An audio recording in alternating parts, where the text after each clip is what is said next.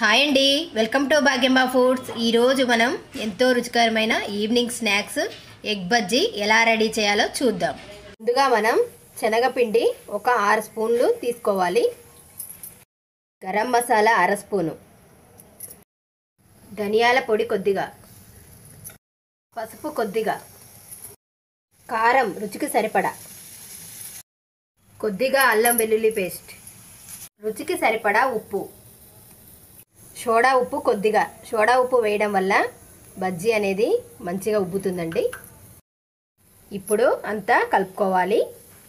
అంతా కలిపేసిన తర్వాత ఇందులో కొద్ది కొద్దిగా వాటర్ యాడ్ చేస్తూ మనం మిర్చి బజ్జీకి ఏ విధంగా పిండిని కలుపుకుంటామో అదే విధంగా కలపాలండి. ఓకే అండి. చూసారు కదా పిండిని ఈ విధంగా కలుపుకోవాలి. స్టవ్ వెలిగించుకొని నాన్ స్టిక్ గిన్నె పెట్టుకొని డీప్ ఫ్రైకి సరిపడా ఆయిల్ పోయాలి. ఎగ్ బజ్జీకి ఒక ఫోర్ ఎగ్స్ ఉడికించి పెట్టుకున్నాము. ఎగ్ని హాఫ్గా కట్ చేసుకోవాలి. ఆఫ్ చేసేటప్పుడు జాగ్రత్తగా కట్ చేసుకోవాలి లేకపోతే అంతా చితికిపోతుంది. ఇలా హాఫ్గా కట్ చేసి పెట్టేశాం.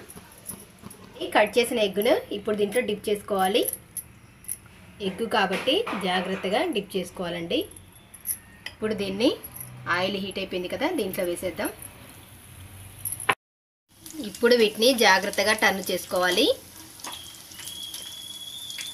ఓకే అండి చూసారు కదా? చక్కగా గోల్డెన్ కలర్కి వచ్చేసాయి. ఇప్పుడు వీటిని తీసి పక్కన పెట్టేద్దాం. ఎగ్ బజ్జీ చాలా జాగ్రత్తగా వేసుకోవాలండి. ఎందుకంటే ఇవి పేలే అవకాశం ఉంది. సిమ్లో పెట్టుకొని వీటిని డీప్ ఫ్రై చేయండి. ఓకే అండి చూసారు కదా? ఎంతో రుచికరమైన వేడి వేడి ఎగ్ బజ్జీ రెడీ అయిపోయింది. ఇప్పుడు మనం ఎగ్ బజ్జీని తీసుకొని హాఫ్గా కట్ చేసుకుందాం.